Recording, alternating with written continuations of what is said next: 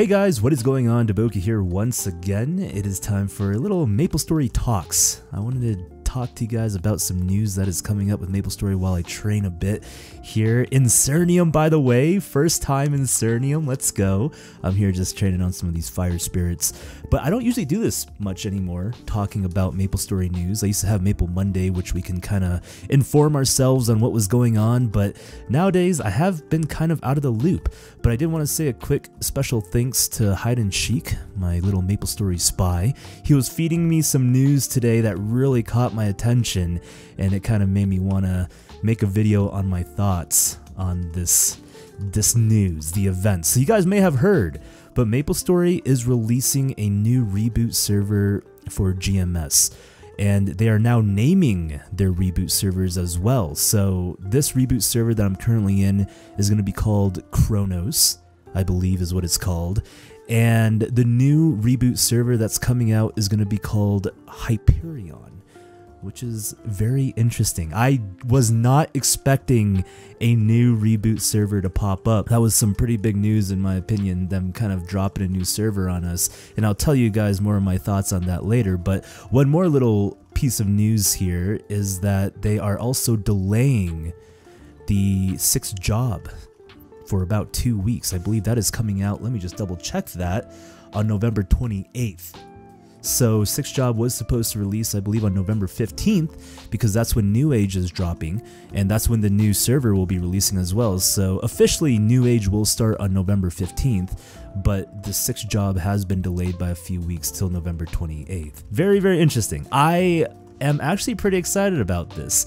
I, I mentioned it a few times before saying that, like, oh, they will never drop a new server for reboot. Like, they want to make sure they're consolidating their player base.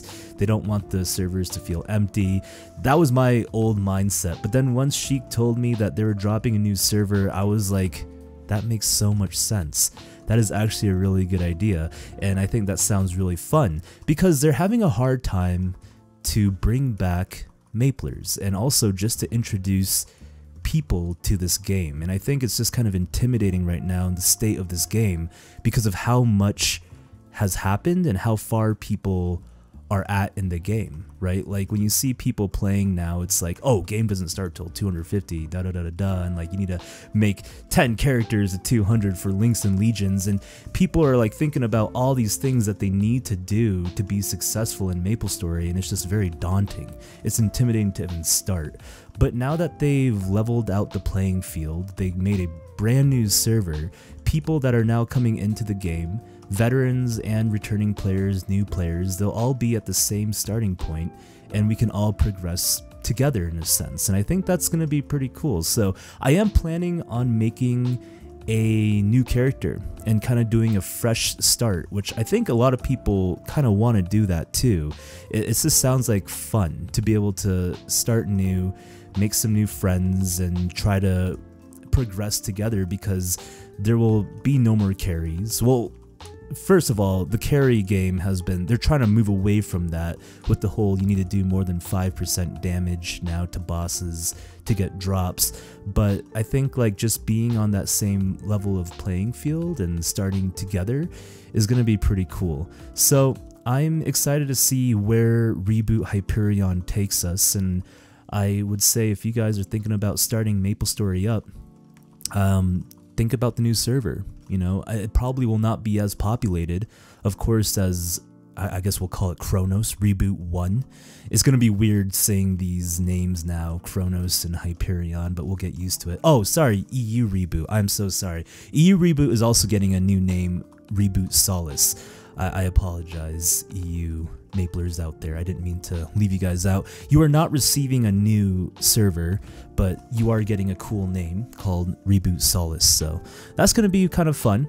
Um, the thing is, it's going to still be less populated, in my opinion, just because we have so much in these in, in the first reboot, right? Like all of our links and legions is kind of the whole thing on not wanting to transfer even from regular server to reboot is just because of how much you've already progressed with. But I think now that there's a new server that's starting up for reboot, it might also motivate players to join it from regular server too. You know, kind of pick a little bit from everywhere, I would say. Like a little bit from Reboot 1, a little bit from the regular servers, and then, of course, just returning players coming back to the game or brand new players wanting to give it a shot. You can kind of now see how it would be just progressing from ground zero. So it's going to be kind of cool. I don't know what character I want to make though. I am a little bit on the fence on on a lot of characters. Essentially, I want to still, of course, maintain my characters and my account on this server, on Kronos Reboot One, and make a hyper burn here. But for Reboot Two, I don't know. I may go a complete different playstyle of character choices because I went a lot like Explorer Archers here, or I may just fall back into the Explorer Archers again back in the new server. But I, I would like to see myself kind of stray away and do something else. Maybe you guys can give me some suggestions as well on what character you think that would be fun to, to start brand new with. This is more so for players that are returning or thinking about coming back or even brand new players. I think this is a great time to come back, guys. We got Hyperburn, which is a character that will level up essentially three times every level up to 260. And on your way up, you're going to be getting a lot of good rewards, a lot of good like boost materials. So it'll be really nice to make your character there. Let me just go ahead and accept my daily mission here. I forgot to even accept that. I think a new day started. Yeah, yeah, yeah, new day started. So we'll go ahead and accept this, get our sack symbol up and leveled up here.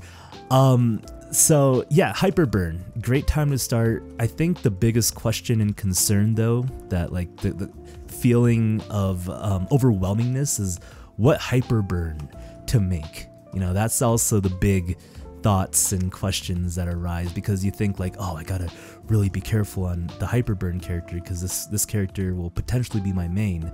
I I think it will be, of course, main potential, especially if you do it on the, the new server, just because of all the boosts you get. So I would say, you know, think a little bit about a character that interests you, but don't think that you're going to be fully stuck with it. Just remember, you're still going to be in that playstyle of every character is just going to benefit your account, right? So really just play through a character. If you don't like it, it's okay because it'll still help your account out in some way. But do a little bit of research, I would say, and kind of think about a character that you would enjoy playing, especially if you're starting in a new server. Don't think too much, or for my opinion at least, I probably won't think too much on like a character for Link and Legion if that makes sense. Like I will wait for mega burns or level up events to kind of fill out my account with that. I think my initial hyper burn that I make, I would want to make it something that I would enjoy to play, just to, so I can have fun at the start, you know, and just kind of get boosted up with all the rewards and things that Maple Story is going to provide us. So, you know, keep that in mind too. I think Maple Story does have a little bit of a hard time selling this whole point on like Maple doesn't really start till later on. Like in order to get to the juicy fun part of Maple, you need to get past 200 you need to potentially get past a few characters you know like being able to find that grind and where it starts to become fun it does take a little bit of work you know so don't get too discouraged if you can't feel it right away but just know that it's a marathon. It's, it's a work in progress. Just kind of take the small achievements as it comes and set your goals like set your little milestones that you can achieve that are in sight, and I think you'll have a really good time. I- am excited for it. I hope to start a fun series here on YouTube at least when Hyperion drops a new server, and hopefully we can just progress together. I think that would be a good time. But let me know your guys' thoughts and opinions, man, on just like this new server and some classes that are interesting you and like what is a good hyperburn class to start at, you know for, for yourself but i really think like making a class and kind of figuring out your hyperburn is very personal. It's just preference, right? Like you can't really have someone tell you what a good class to make for your main because that should just be what you enjoy. you know, uh, be, people come into my chat a lot asking like, "Yo, what should I make as my main?" That's a hard question. That's kind of like I guess almost like people coming to you asking like, "Yo, what what kind of career should I do for my life? What what's my favorite color?" That's like stuff that's you got to feel it for yourself you know you got to do some trial and error as well you know there's some like interesting career tests that i took while in junior year of high school remember which i thought at the time was like total bs and hurtful but now i'm like thinking maybe they're onto something so i took this test and they told me that i was going to be a birdhouse builder or a forest fire watcher which at the time, you know, my friends were all getting like doctors, physicians, professional soccer player, and I was like birdhouse builder. So I, I really was kind of like, yo, this sucks. But now that I'm thinking about it, those careers sound really fun to me. You know, so maybe the tests weren't that far off. Watching for forest fires, I played the game called like Firewatcher or something where literally the game is you watch for forest fires, right? You're like a park ranger and you watch for it, and it was really peaceful and fun. So I don't know. I think like it could be somewhat accurate. But anyways, that's not part of Maple Story. I was just saying maybe it would be nice that if Maple Story had some sort of main uh, test or quiz that you could take to kind of like you answer a series of questions and then it can match a potential main for you to at least like um to check out you know like oh yeah that that sounds cool you know if, if, that's something at least give you a direction right? Like i know my direction is archers. I love archers just their aesthetics their playstyle their weapons their personalities. It just kind of goes deeper than just the characters themselves i think just because of the, the connection i have to them but it would be nice to have some sort of direction like that. Anyways i'm gonna go ahead and stop talking i was just training a little bit doing some of my dailies here getting a few xp 40% we're just moving along slowly but surely i just wanted to give you guys some of the Maple news here that's coming up for Maple Story GMS. It's exciting times. Big updates are happening. I hope you guys are enjoying it. Much love, one love. This has been Daboki, and I'll be seeing you guys later. Goodbye.